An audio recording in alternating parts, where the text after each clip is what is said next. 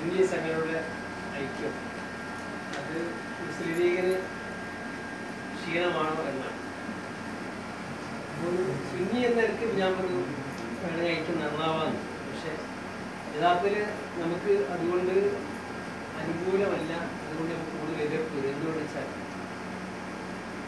ഇപ്പോൾ മറുവിഭാഗം അതായത് നമ്മളിപ്പോ മുസ്ലിം ലീഗിന്റെ കൂടെ നിൽക്കുന്ന ഒരു കൂടുതലും മുസ്ലിം ലീഗിൽ നിൽക്കുന്ന കൂടുതൽ ആളുകൾ പൊതുവെ സംസ്ഥാനത്തെ പൊതു വിഭാഗത്തിലാണ്. അപ്പോൾ അതുകൊണ്ട് എതിർ വിഭാഗത്തിന്റെ ആളുകൾ കൂടുതൽ നമ്മുടെ അവരിപ്പോൾ ഇതിന് മുമ്പ് തന്നെ ഒരു പള്ളി തുറന്നു ഇതിനു മുമ്പ്. തുറന്നപ്പോൾ തന്നെ അവർ അതിലുള്ള കുറച്ച് ആളുകൾ മധ്യസ്ഥന്മാരില്ലാതെ തുറന്നു എന്ന് പറഞ്ഞത് അത് നമുക്ക് ഒരു യഥാർത്ഥത്തിൽ നമുക്കൊരു കുത്താണ്.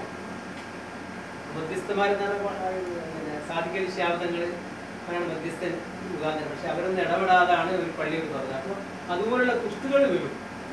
ഇങ്ങനെയുള്ള വിഷയങ്ങൾ വരുമ്പോൾ ആണ് ഞാൻ മനസ്സിലാക്കുന്നത്. അപ്പോൾ സുന്നി സംഘടന ഐക്യപ്പെട്ട് നമ്മൾ ഒരവസ്ഥ മുസ്ലിം ലീഗിന്റെ വോട്ട് ബാങ്കായി മാറും. പക്ഷെ വോട്ട് ബാങ്കായി മാറാനല്ല ഒരു വിഭാഗം ശ്രമിക്കുന്നത്. കാരണം മുസ്ലിം ലീഗിനെ എതിർക്കപ്പെടാൻ കൂടുതൽ അവസരങ്ങൾ സൃഷ്ടിക്കാൻ അവർ ശ്രമിക്കുന്നുണ്ട്. പക്ഷെ എന്നിരുന്നാലും ഇത് ഒരു നിലക്കും ഈ സുന്നി ഐക്യവും ഒരു നിലക്കും വരുന്നില്ല.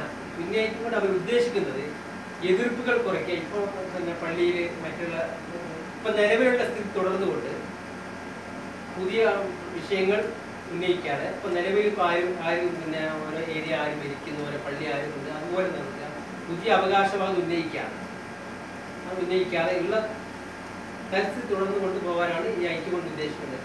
അത് എത്രത്തോളം പിന്നെ മുന്നോട്ട് പോകുന്നുള്ള കാര്യമൊക്കെ വളരെ വിചിത്രമാണ്. കാരണം എങ്ങനെ ആയിക്കഴിഞ്ഞാൽ ഈ പ്രശ്നങ്ങൾ തുടർന്നുകൊണ്ടേ നിൽക്കും. അതാണ് ഐക്യപ്പെട്ടെ പോട്ടെ എന്തായാലും ഐക്യപ്പെടുമെങ്കിൽ ഐക്യപ്പെട്ടു പോട്ടെ.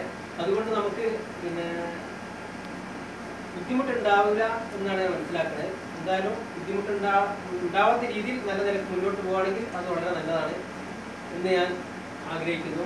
ഏതായാലും എനിക്ക് നമ്മൾ ആശങ്കപ്പെടേണ്ട ആവശ്യമില്ല. എന്നിരുന്നാലും അതൊക്കെ അനുകൂലമല്ല. ഇത്രയാണ് ഈ വിഷയത്തെ പറയാനുള്ളത്. അസ്സാം വലൈക്കും